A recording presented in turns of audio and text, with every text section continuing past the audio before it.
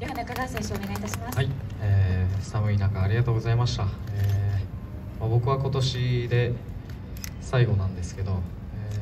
ーこの8年間ですかね、えー本当にみんなに支えられて、えーサッカーマリノスでサッカーを続けられたと思っています。本当に感謝していますし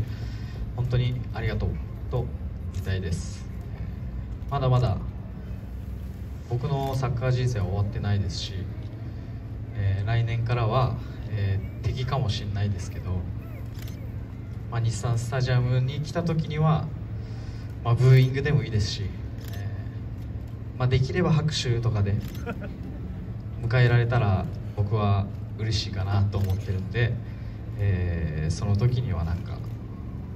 いいい声かけをしてくれればいいかなと思ってます、えまあまた、えーまあ、僕のプレーを、アジスタで見に来てもいいし、えー日産スタジアムに見に来てもいいし、えーどこかで会える時は必ずあるんでその時まで楽しみにしてます、えーまた安崎選手のことも応援してほしいですし僕たち30代がこれから、えー頑張って引っ張っていかなきゃいけない世代だとも思ってるんで、えーぜひマスタにも、えー日産スタジアムにも。できればアジスタとかにも。来ていただければいいかなと思ってます。今日は本当にありがとうございました。あ